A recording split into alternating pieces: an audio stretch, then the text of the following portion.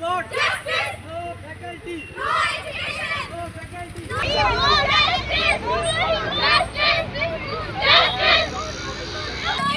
No faculty. No faculty. No education. No faculty. No education. No faculty. No education. No library.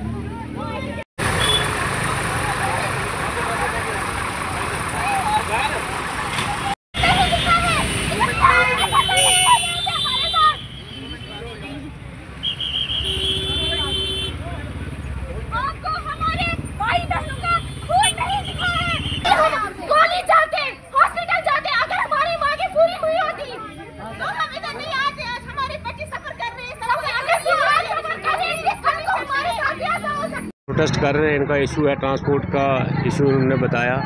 और साथ में और भी इन्होंने बहुत सी इश्यूज़ हैं इनके, वो दिए इनका इश्यूज़ अब मैडम डीसी मैडम से इनको डिस्कस करेंगे। उनका रिड्रेसल होगा सभी का। साथ ही में जो कि ट्रांसपोर्ट का इशू है मेजर उसके लिए अभी जहाँ के हमारे ए आर टी ओ साहब हैं, उनको कॉल की है मैंने। वो इधर ही आ रहे हैं मौके पे। यहाँ पे इनकी बात सुन के जो भी इनकी ट्रांसपोर्ट का इशू होगा, वो आज ही उसको सॉल्व कर दिया जाएगा। कहा जा रहा है कि फैकल्टी नहीं है क्वालिटी एजुकेशन जो है वो नहीं मिल पा रही है। उस सिलसिले में जिन्होंने जो जो डिमांड्स दी है अपनी कॉलेज की जो एडमिनिस्ट्रेशन है उनसे बात की जाएगी। डीसी मैडम से जो इशू अभी मैं उनसे बात करूँगा उनको बुला के तो उसमें भी बात की जाएगी। सर क्या लगता है आपको मेडिकल कॉलेज में घोषित करने से पहले अपनी जो फैसिलिटीज़ थी वो पूरी करनी चाहिए थी? जो भी फैसिलिटीज़ हैं, वो बच्चों की पढ़ाई के लिए जो जो भी चीज़ें जुड़ी हुई हैं, वो सभी का होना लाजमी है। तो उसी सिलसिले में बात इसी से भी मैं बात करूँगा। कुछ बच्चे भी अगर चाहें चल सकते हैं, मैडम से बैठ के बात कर सकते हैं, उनको भी बुलाएँगे हम कॉलेज वालों को। पर मेजर जो इशू सबसे पहले जो इमीडिएट जिसका रिहर्सल है, हम करेंगे, वो है ट्रांसपोर्ट का। तो वो अभी ए को बुलाया इधर। तो वो उस पर जहाँ बात धन्यवाद। मेरा नाम शामिल याकूब है। सर करंटली हम बीएससी नर्सिंग कर रहे हैं government nursing college Delhi Udhampur से। तो एक्चुअली सर, अभी फ्यू डेज़ बैक आपने देखा होगा, एक ट्रैजिक एक्सीडेंट हुआ फरना में। तो जिसमें हमारे 26 अराउंड 26 स्टूडेंट्स थे, जो बहुत ही ज़्यादा बुरी तरह से इंजर्ड है। तो एक्चुअली बात यह है कि पिछले पाँच छः सालों से हम कंटिन्यूसली मैम को बता रहे हैं कि मैम प्लीज़ हमें एक डेडिकेटेड बस जो सिर्फ़ बच्चों के लिए हो परमानेंटली हमें एक बस प्रोवाइड कीजिए सो दैट हम बच्चे सफ़र ना करें। लेकिन हमें हमेशा कहा जाता है कि बच्चा बजट नहीं है। तो मेरा सिर्फ़ एक क्वेश्चन रहेगा सिंपल क्वेश्चन कि अगर बजट नहीं है तो आप हर ईयर नए नए बच्चों को क्यों लेते हो?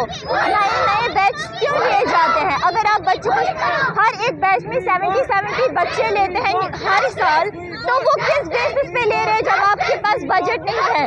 जब आपके पास सफिशेंट बजट नहीं है, जो हमारे लिए काफ़ी नहीं है तो नए बच्चों को आप क्या देंगे? हमारे कॉलेज में तीन क्लासरूम्स है, लेकिन दस बैचेस है। आप हमें कहाँ पढ़ाएँगे? क्या आप हमें सड़क पे पढ़ाएँगे? अभी जो इतना बुरा हादसा पेश आया, आदू का फ्रैक्चर है, आदू के, उनकी डेथ हो गई है, आदू का पता नहीं है लाइफ टाइम वो सर पैरालाइज हो गए। तो who is responsible for that तो इसलिए हमने पिछले टाइम हम डीसी मैम के पास भी आए स्पेशली हमने इनको रिक्वेस्ट की मैम प्लीज़ एक डेडिकेटेड बस हमें प्रोवाइड कर दी जाए।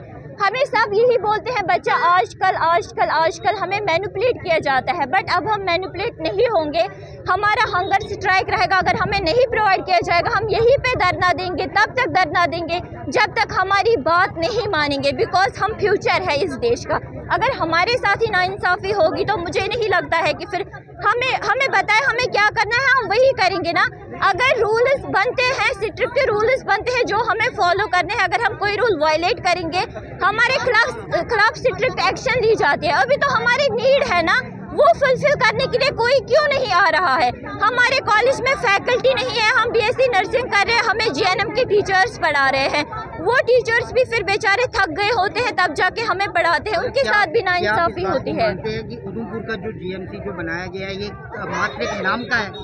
अब ये सिर्फ़ नाम का है बिकॉज़ हमारे लिए ना वहाँ पे हॉस्टल है ना ही हमारे लिए कोई बिल्डिंग है तो हमारे लिए तो जब यूज़फुल नहीं है तो वो सिर्फ़ नाम का है ना सर क्योंकि हम बच्चे तो पिस रहे हैं बीच में। और पहले जो ये हमारी डिमांड है, वो ट्रांसपोर्ट को लेकर है और फैकल्टी को लेकर है। जैसे कि हमने मतलब आपको देख सकते हैं मतलब उसका नतीजा क्या हुआ, जो हमारा ट्रांसपोर्ट नहीं है, उसका नतीजा ये हुआ कि हमारे 26 जो बच्चे हैं, वो government nursing college, BSc nursing students की, वो अभी क्रिटिकल कंडीशन में है। सारे बच्चे जो कि रोड एक्सीडेंट हुआ था अभी बैली में, वो क्रिमची में। एंड सेकंड हमारा जो है, वो हमारा ये है कि हमारा जो मतलब ये फैकल्टी को लेकर है बीएससी की जो है, बिल्कुल भी फैकल्टी नहीं है। वहाँ जीएनएम की फैकल्टी है, लेकिन बीएससी की बिल्कुल भी कोई सीट्स नहीं है। तो हम हम ये चाहते हैं कि हमारी जो फैकल्टी है, क्योंकि विदाउट एनी फैकल्टी आप कैसे आप एक कॉलेज को चला सकते हो? तो इसलिए हम ये बोल रहे हैं कि हमारा एक मतलब डेडिकेटेड जो है, हमारी फैकल्टी होनी चाहिए। हमें मतलब और भी जो है मतलब जो भी सुविधाएँ हमारी होनी चाहिए बेसिक नीड्स जो है, वो हमारी मिलनी चाहिए। लाइक हमारा वाशरूम वाशरूम्स नहीं है, हम उधर ड्रिंकिंग वाटर नहीं है। तो जब है ही नहीं कुछ तो आपने सीट इधर क्यों दी है? मतलब अगर आप अगर आप कॉलेज चला नहीं सकते तो क्यों दे रहे हैं आप?